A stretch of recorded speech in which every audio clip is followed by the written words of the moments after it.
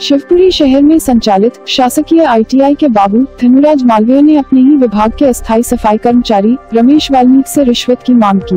वेतन वृद्धि के नए वेतनमान के हिसाब से वेतन बनाने के लिए बाबू द्वारा इक्कीस हज़ार रूपयों की मांग की, जिसमें से सफ़ाई कर्मचारी द्वारा पूर्व में पाँच हज़ार रूपए दिए जा चुके थे।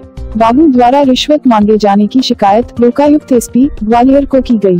जहाँ आवेदक ने बाबू से की गई बातचीत का ऑडियो सौंपा जिसमें लेन देन संबंधी चर्चा रिकॉर्ड की गई थी।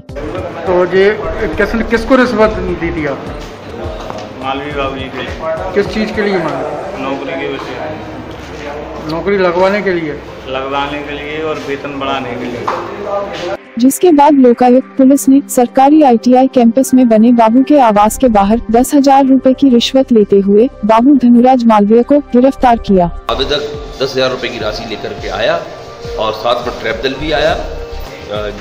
श्री धनराज मालवी आरोपी ने अपने शासकीय आवास के बाहर स्थित बगीचे में इनसे रिश्वत राशि ग्रहण की और हम लोगों ने तत्काल गिरफ़्तार कर लिया। दिलीप दीक्षित की रिपोर्ट।